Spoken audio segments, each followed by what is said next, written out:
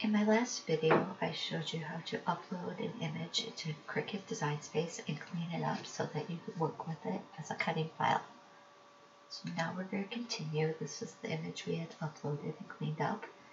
And I want to add some text around it. A friend of mine wants to put this on a shirt.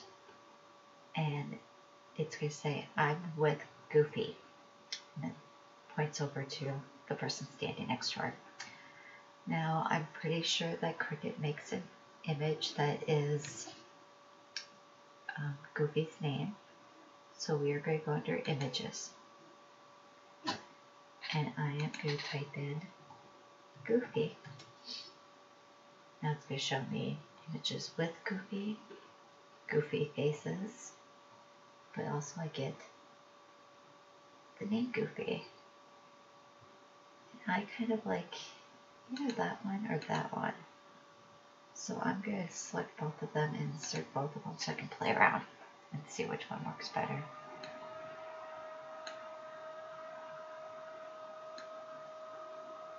So I'm thinking for this image,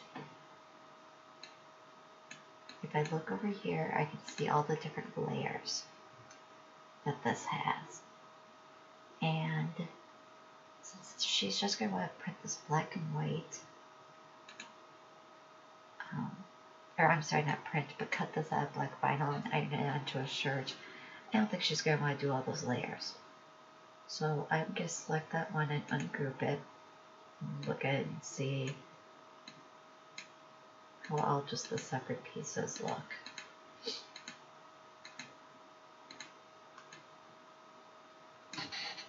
That's okay. Or I could do this. And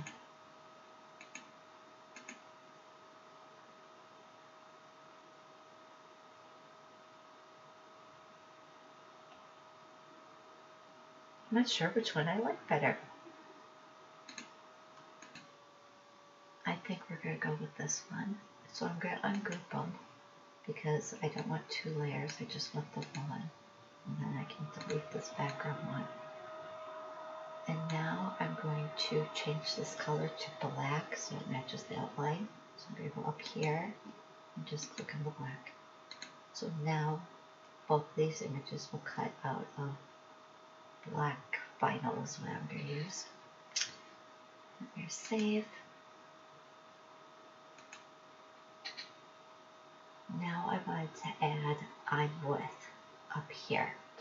So I'm going to do text and type in I'm with.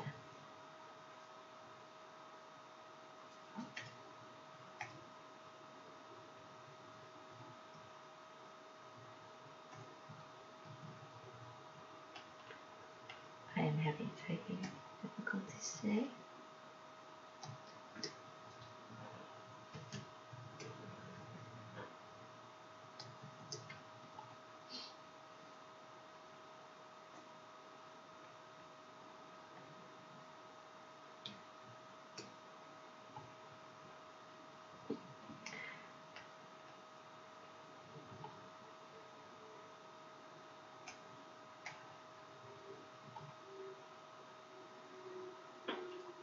Is my computer acting wacky when I type?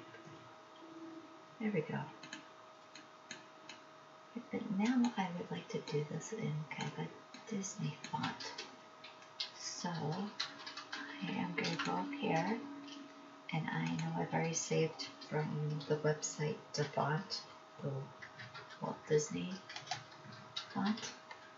So I am going to click on Waltograph.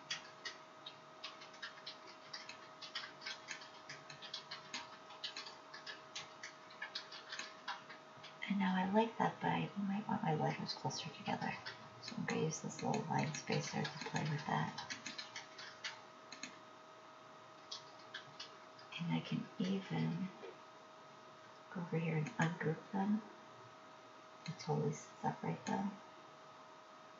And then uh, kind of just squish them closer together. until I get them where I want it.